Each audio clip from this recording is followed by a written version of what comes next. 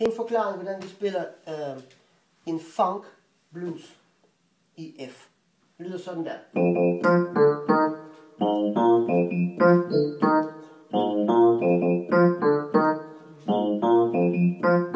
Skifter til BB.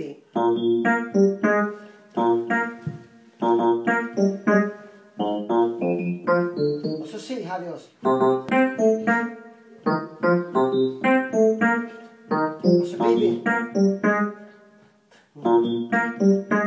Okay? Vi spiller med lille finger og tommelfinger, og vi spiller F begge veje. Og så spiller vi D og EB. F, F, F, D, EB.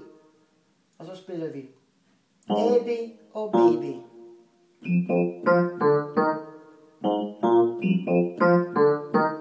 Okay? Og så spiller vi B, B.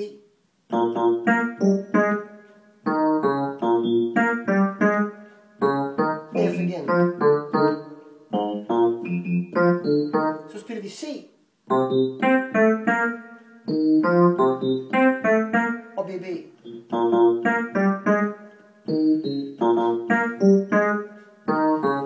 Og F. Okay? I, ve- øh, I højre hånd har vi en øh, rigtig spændende akkord, som ser sådan ud.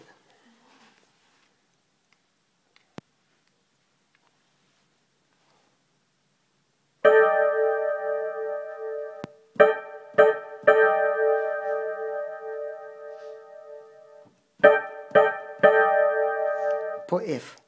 Og når vi skifter til BB, så ser den sådan ud. Når vi skifter til C, så er den sådan.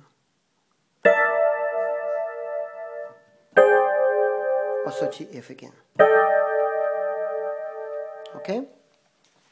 Så alt i alt rigtig, rigtig spændende ind, Så lyder sådan her.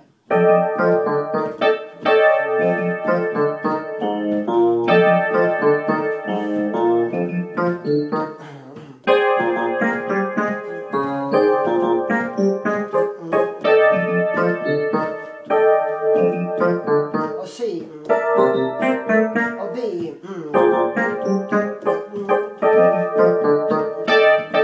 Okay?